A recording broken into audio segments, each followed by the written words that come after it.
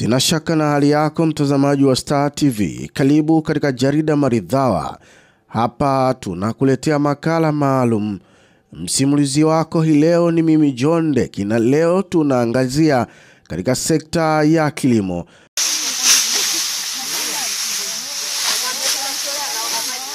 Utafahamu uhifadhi wa mazao bila kupulizia dawa yoyote. Tafiti nyingi zimekuwa zikifanyika kwa ubora na weledi na watafiti wetu hapa nchini, na nyingi zikiwa na lengo la kutatua matatizo yanayozikabili jamii za Kitanzania, licha ya kuwa tafiti hizo zimekuwa zikiishia katika makaratasi kwa kutowafikia walengwa.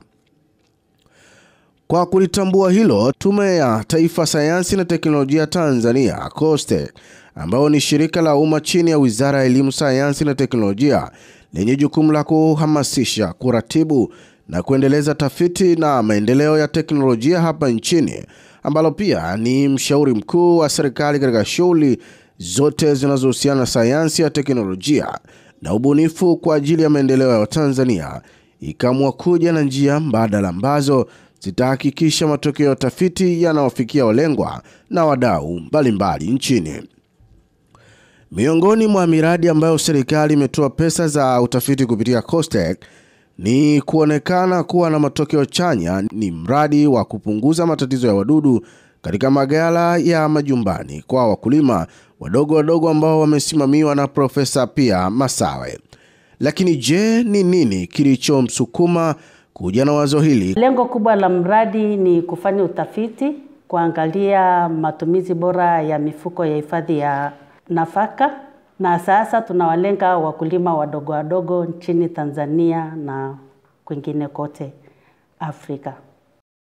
Tunajua kabisa tatizo kubwa la wakulima wengi Afrika ni matatizo ya uhifadhi wa mazao, na tunajua kuna wadudu wengi sana ambao wanaharibu mazao katika magala, na mfano tuna wadudu waharibifu kama dumuzi na fukusi. Pia panya imekuwa ni tatizo kubwa kwa wakulima kwenye magala na majumbani kwa ujumla.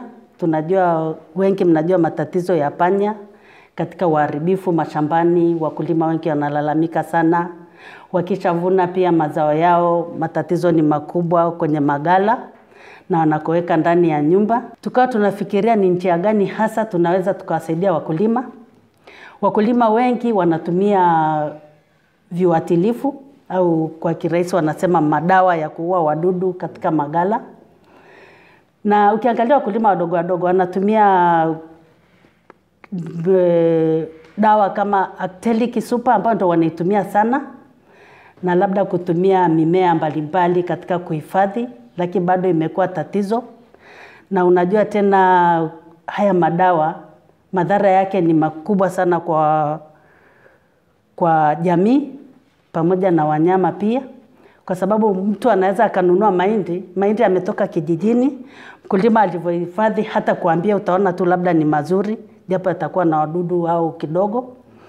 Isipokuwa sasa mtu wa mjini, unaenda unasaga mahindi yako. Kwa mfano, mtu anayekula dona anasaga mahindi anakula, lakini unakuta amekula na sumu ambayo baadaye unakuta madhara ni makubwa.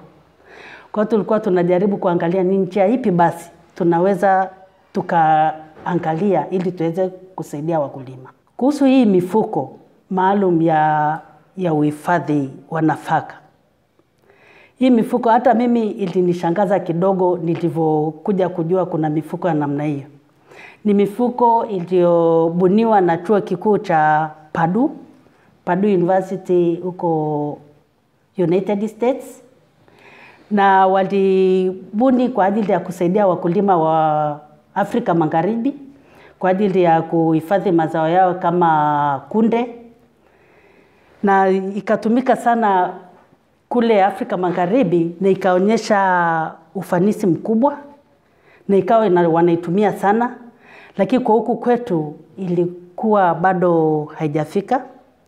Lakini cha kushangaza baada ya kugundua kuwa kuna kiwanda Tanzania kinatengeneza hii mifuko na bado wakulima wetu hawana habari kuwa kuna mifuko ambayo inaweza ikawasaidia, bado wanaendelea kutumia sumu.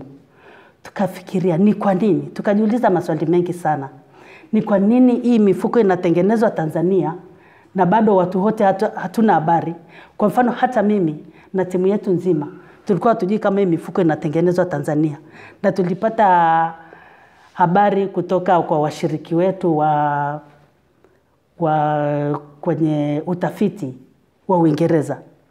Je, mkulima ananufaikaje endapo atatumia mifuko hii katika kuhifadhi mazao na mwitikio ukoje katika kuipokea teknolojia hii?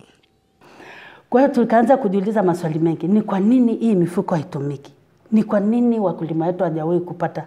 Tukaona hapo kuna haja ya ku, kufanya utafiti, tuangalie ni kwa nini labda mifuko haijatumika, ni wakulima hawajaweza kuwa na na ile confidence, kwa Kiswahili tunasemaje, kuwa hii mifuko inaweza kweli kutumika katika kuhifadhi mazao. Kwa hiyo tukaona sasa tunahitaji tufanyie utafiti, tuone inafanyaje kazi, ni nini kifanyike, ni wakulima wapate kueleweshwa, kuelimishwa vizuri, ili tuweze tukaitumia hii mifuko.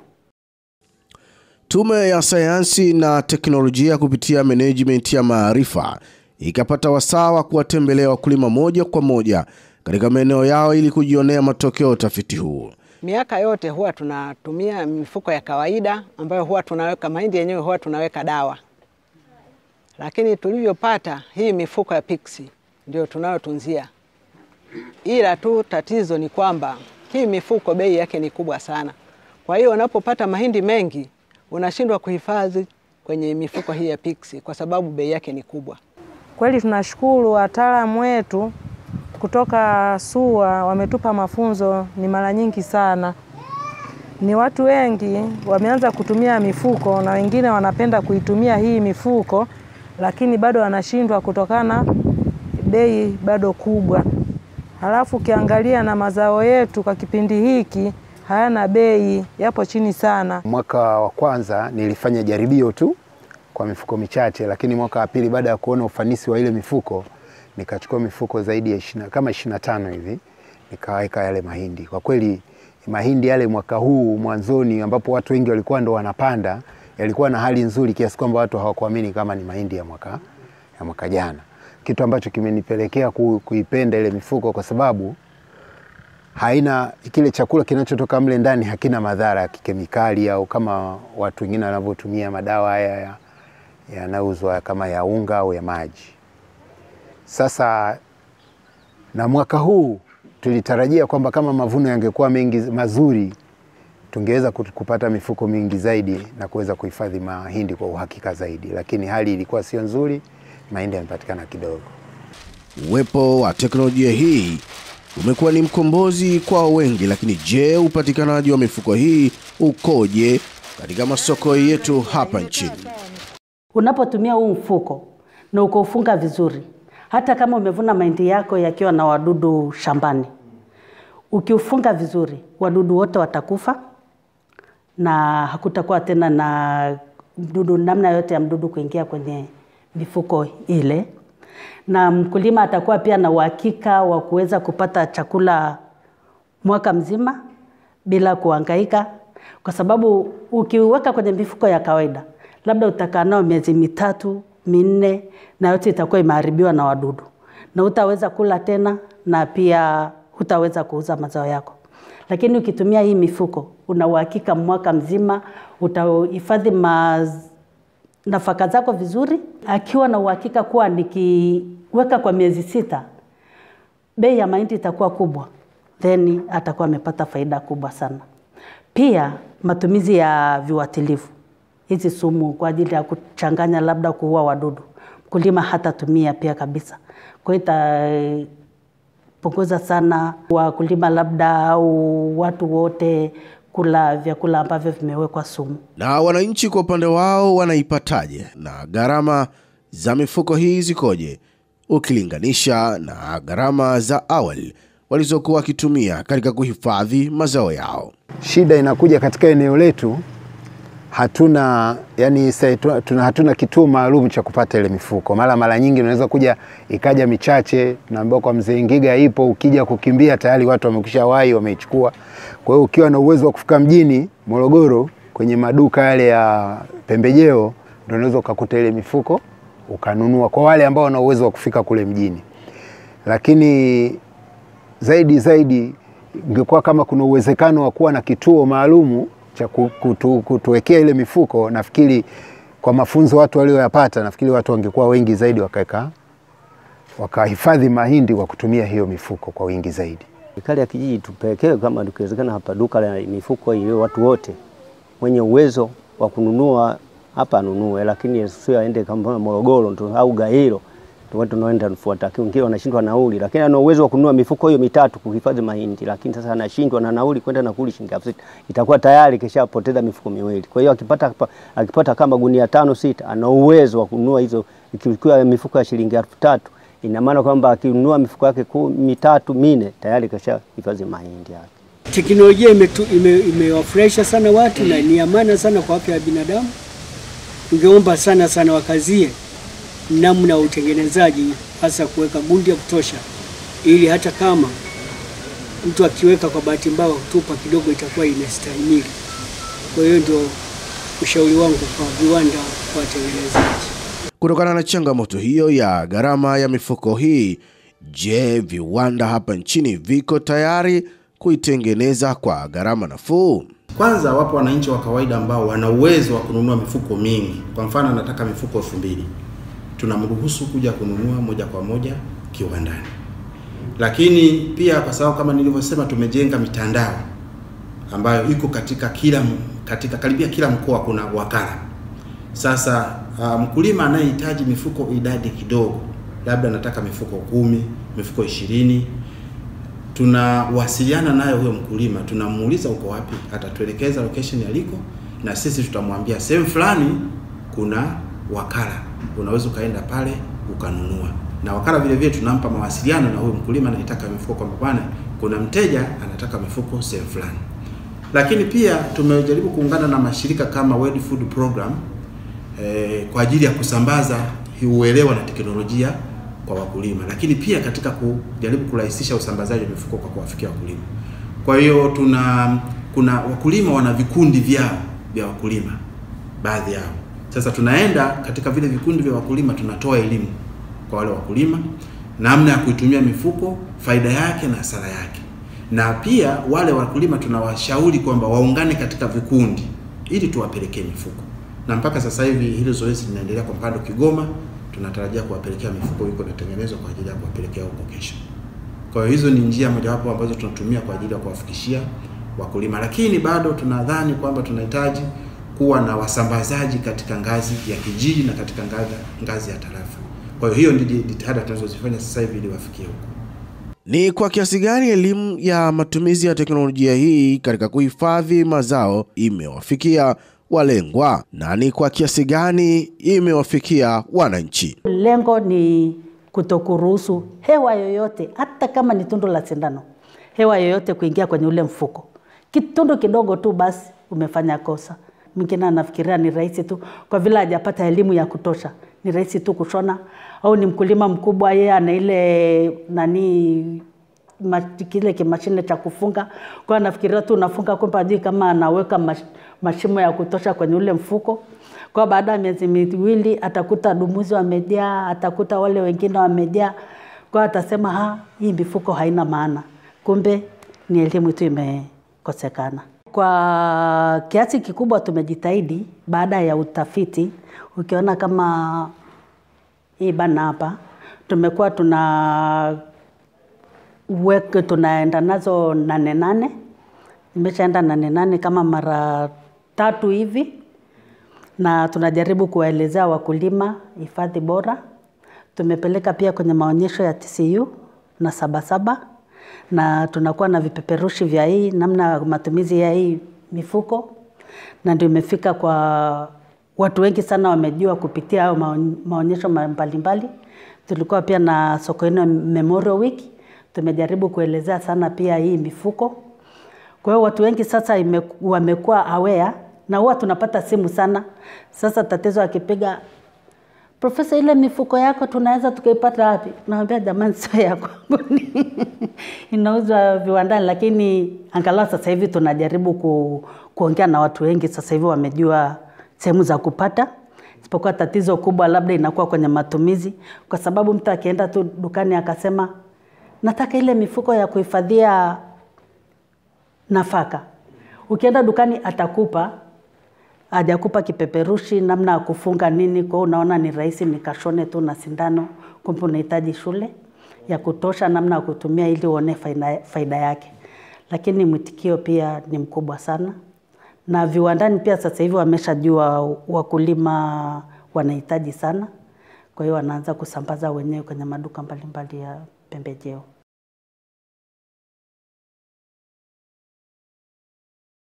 Kama mkulima hatahakikisha kabisa maindi yake yako ndani ya mfuko wa plastiki, then hata panya pia itawawia, yani hawawaoni kwa wakaangaika na kitu ambacho hawajui ni nini. Kwa hiyo pia kwa panya imesaidia sana kwa vijijini. Dr. Ledstraus Mnyone ni mkurugenzi wa kituo cha kudhibiti viumbe hai waharibifu kilichopo ndani ya chuo kikuu cha Sokoine SUA.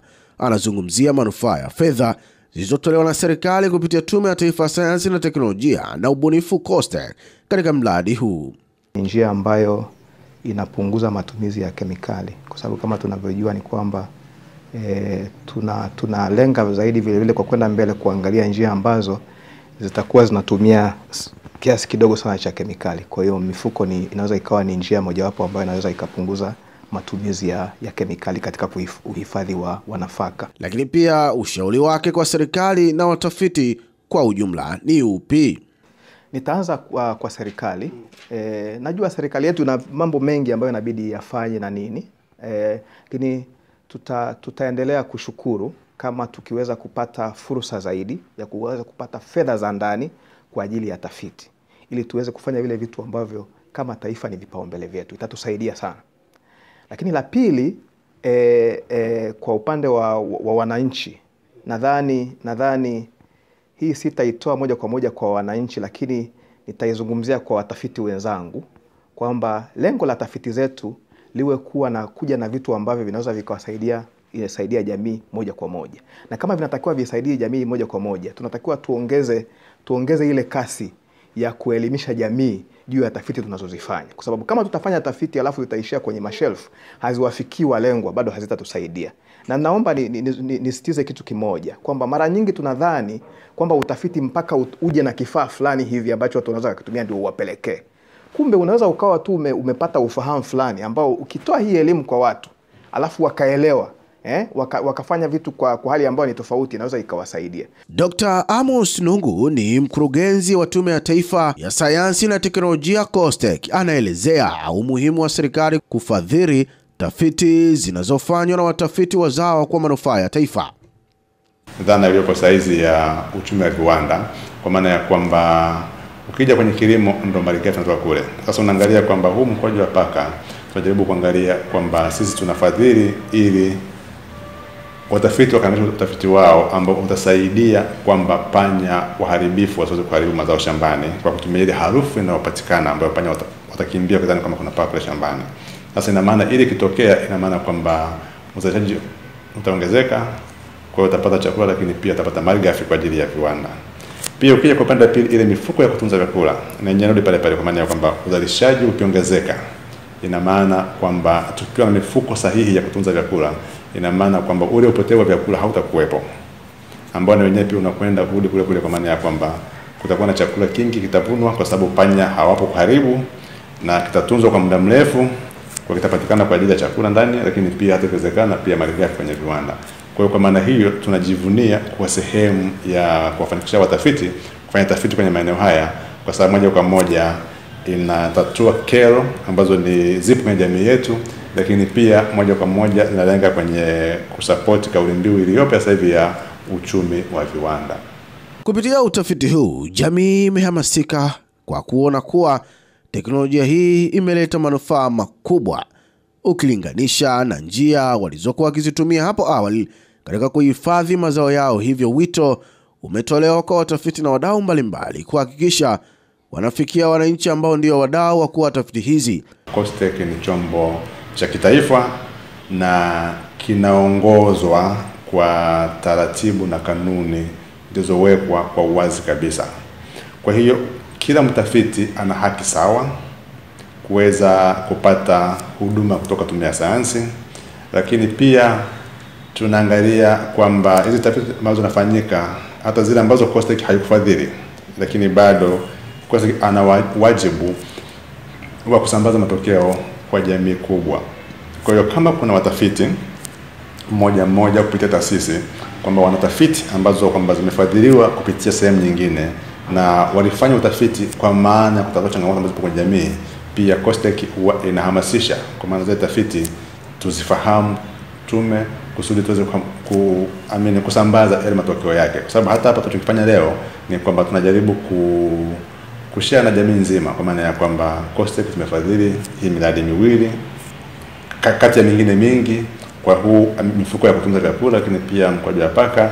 Sasa ukiangalia kwa mafunzo chakula ni kwamba kila mkoa na wanalima chakula, pamoja na kwamba watafiti walikuwa wametoka Morogoro, kwa ina maana kwamba ile jamii ya kwanza ambayo inafaidika ni ya watu wa Morogoro pale, lakini kwamba hili ni suluhisho kwa jamii yote ya Kitanzania na hata nje ya Tanzania. Kwa ndio maana najaribu kutoa wito kwa maana ya kwamba hata watafiti wengine ambao wamefadhiliwa sehemu zingine, lakini utafiti wao ulilenga kutatua changamoto ndani ya jamii. Kwa hiyo pia tume inaweza ikachukua matokeo yale na kuyasambaza kwa nchi nzima. Kufikia adhima ya serikali ya awamu ya tano, serikali ya viwanda, ifikapo mwaka 2025 Tanzania iwe imefikia uchumi wa kati wa viwanda, lazima sekta ya kilimo ipewe kipaumbele kikubwa ili wakulima wapate kuuza mazao yao nje ya mipaka ya Tanzania na kuleta faida nchini. Kwa muda wote huo ulikuwa nami John Ndeki. Naendelea kufuatilia vipindi vyetu kupitia Star TV.